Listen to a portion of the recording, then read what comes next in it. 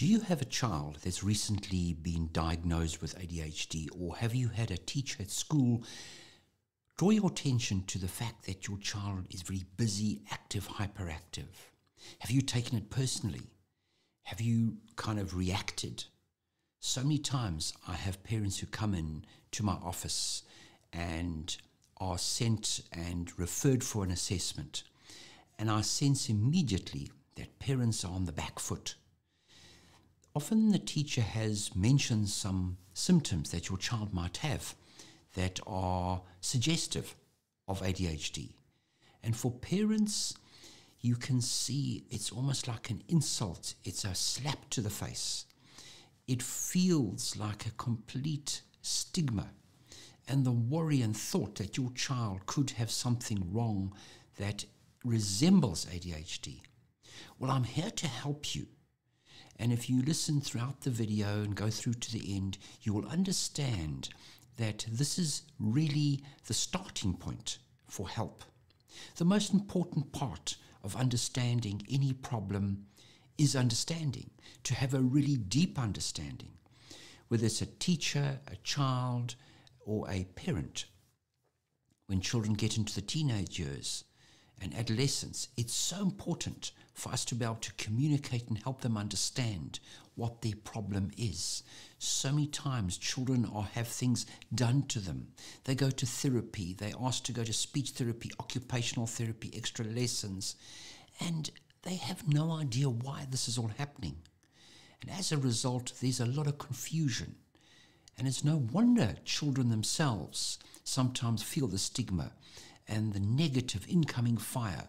They feel like a square peg in a round hole. So, from a parent's point of view, think very carefully about all these factors. And what I'd like to do is help us understand what, in fact, is the whole aspect about coping with the stigma of ADHD. Tired of battling other people's opinions, you know, learn how adults with this condition and children, you know, learn and cope with these problems and also discover the best time to tell people about this diagnosis. There's nothing shameful about having attention deficit hyperactivity disorder. You know, there shouldn't be such a problem because this is something that is so treatable. It is a very common problem. At least one or two children in every class in the country have a problem or have a child with this problem. And, you know, if society can talk about it, accept it, and I do find that I think with time, you know, over my years as a pediatrician, we're now starting to see parents that have been treated. And when I deal with children with ADHD, I have a sense that parents are connecting and actually getting help for themselves. When I assess children, I actually refer at least a couple of parents a week to professionals and specialists that deal with adults with ADHD. So it's an uncovering and unmasking of problems. It's an amazing opportunity to help deal with a particular problem that's so treatable. There's so many things that we deal with in society and with health conditions that sometimes are very difficult to treat. So it's an only a, a pleasure for me to be able to help adults and uncover and demystify the stigma. So, why should this carry a stigma? You know, despite evidence to the contrary, many people believe that ADHD is a problem of poor self will, bad behavior, you know, just a bad egg, you know, a child that needs to be sorted out by their parents, poor discipline, or, you know, not eating the right thing, sugar, preservatives. These are nothing necessary to do with the problem.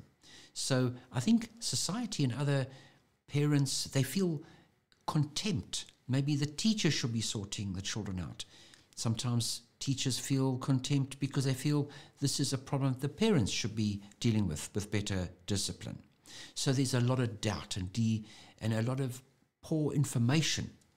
It is a fundamentally a biological problem. So, you know, if a child had a disability, you know, had a hearing problem, eyesight problem, getting something to help for the ears or glasses, it's no different. ADHD is a difficulty thinking clearly, eyesight correction helps you see clearly. So there shouldn't be this kind of um, stigma that's surrounding a biological condition which needs particular help. What harm does um, ADHD cause? You know, there are obvious things like social problems in the workplace, discrimination. But the greatest harm comes from self stigmatization, poor self esteem. And that is what causes these internal uh, stereotypes. You know, a lot of individuals with ADHD do not want to believe they have this problem, let alone, you know, getting help. And if you don't believe there's a problem, how do you get help? And you know, if a child understands these problems, they're more accepting, they're more, uh, they're more likely to take on board and embrace the kind of techniques and modification things that we need to do to help them. So, another question is who is most uh, affected by the stigmatization? You know, often this is a problem that society thinks are boys. They're busy, they're hyperactive. We don't think girls can have ADHD. So, there's a huge uh, burden on women and girls who, when they do have these problems, are feel shameful. They feel like this is something that should not be happening to them. But the incidence, yes, it's true. There is a three to one ratio in the very early stages of school. By middle school, it's a, a one to two. And in adulthood, it's one to one and a half. So as we start to understand that girls can have ADHD, we'll demystify this and remove the stigmatization. What should you do if you hear hurtful comments about ADHD? you know, don't be reactive.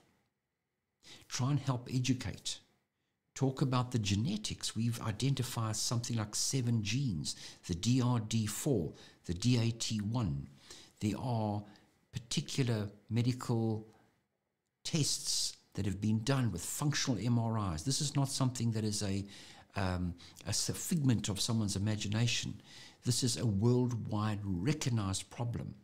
When you help people understand that this is as much of a medical problem as something like diabetes or epilepsy, I think it starts to help people understand that, you know, if you have a medical problem, this is something that needs a medical solution.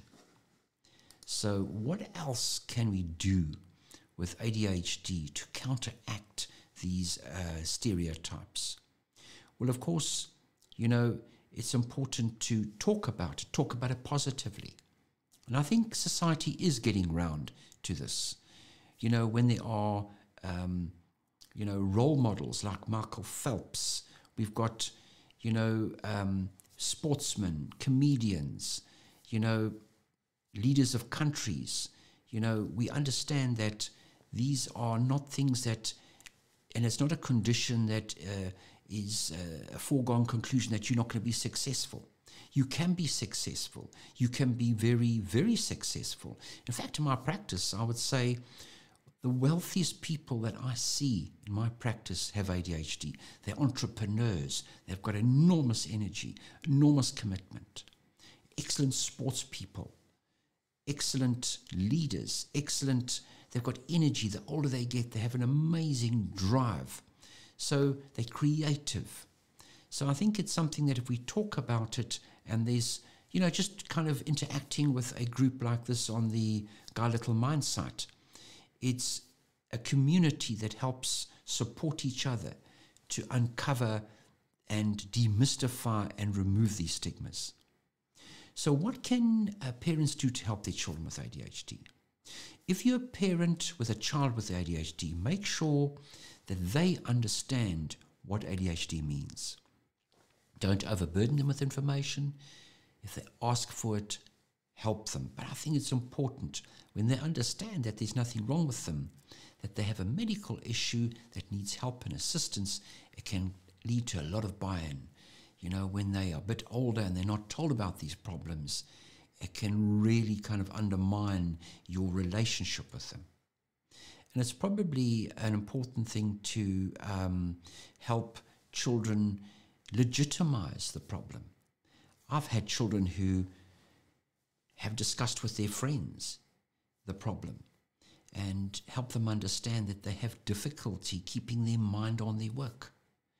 And you know, when you share that, you talk about it, it helps unburden. And uh, you know, one of the other last factors I'd like to talk about how or when should you reveal the diagnosis to a child? And I mean, this really is a dilemma.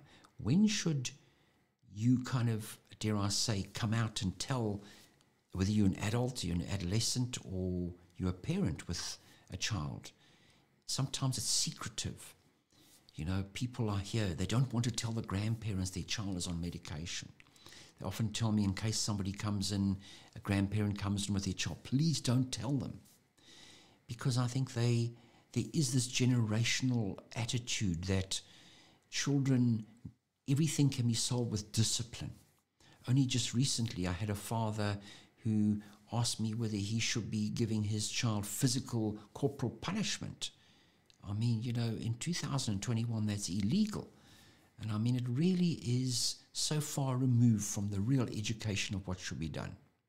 And of course, you know, parents and employers, uh, teachers, do they need to know? Often, when I do assessments, parents don't want the teacher to hear and know that their child has ADHD. So, all these things I think need to be removed. This mist of confusion. And if you have any ideas as to how you feel and how you would like you know, your child to know, let me know. I'd like to just kind of give you my perspective as how I would tell a child. You know, you would say to them, the other children in the class that maybe wear glasses, they have difficulty seeing the board, they need extra help. And that helps them see clearly.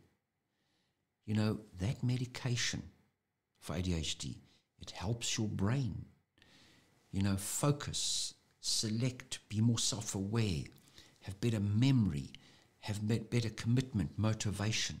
It helps you think clearly. You just think differently. And with time, the more consistent they get help, the better things get. And you know, if you're at peace and you understand, it does help looking at it from a disability perspective. When you constantly have to blame your child and think it's a self a self will that they are kind of resistant to doing the things they should do. So let us know if you have any further questions related to how should you tell your child that they have ADHD.